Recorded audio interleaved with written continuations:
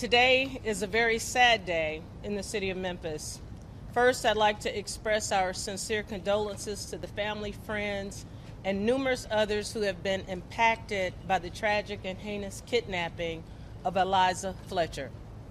Yesterday evening, September 5th, at approximately 5:07 p.m., the Memphis Police Department and other law enforcement partners discovered the remains of a body, a human body, in the rear of a vacant duplex apartment at the 1600 block of Victor Street.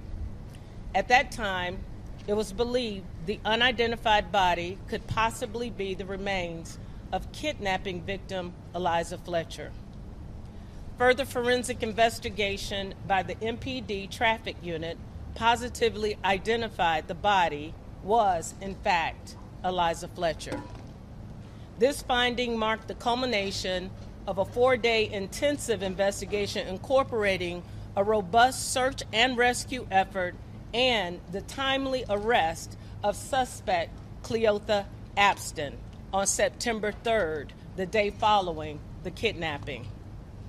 Cleotha Abston has been charged by MPD homicide investigators with the following state charges first degree murder, first degree murder and perpetration of kidnapping, especially aggravated kidnapping and tampering with evidence.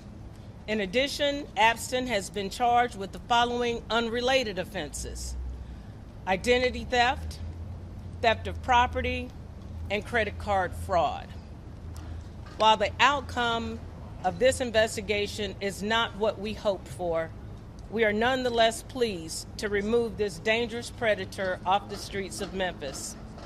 I'd like to personally thank the professional and highly skilled men and women of the Memphis Homicide Unit, the Memphis Police Department, the FBI, the U.S. Marshals, the Tennessee Bureau of Investigations, the Shelby County Sheriff's Office, the District Attorney General's Office, Homeland Security, the ATF, and the University of Memphis Police Department for your relentless efforts and many contributions toward this investigation. The collaboration and cooperation amongst all of our partner agencies was nothing less than symphonic. We are also very grateful for the hundreds of tips that came through our Crime Stoppers and other platforms from our citizens at large.